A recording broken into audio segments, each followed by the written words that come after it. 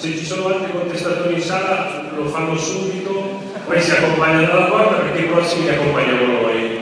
Perché la democrazia è una bella cosa, ma la democrazia è rispetto degli altri. Per cui il prossimo lo accompagno personalmente. Eh,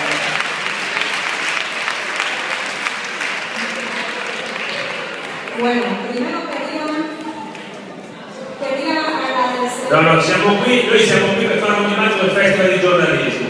Ok, ok.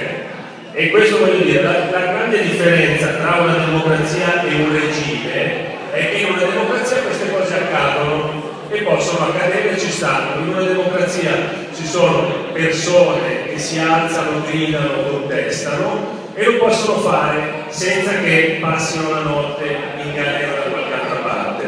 E io prendo dal tuo libro una frase che dice libertà di espressione è un paese dove una persona si può fermare a una crocevia e gridare qui non esiste libertà di espressione. Ecco, quello è proprio il posto dove la libertà di espressione esiste. E l'Italia, come abbiamo visto, a differenza di Cuba, è un paese dove c'è democrazia e libertà di espressione.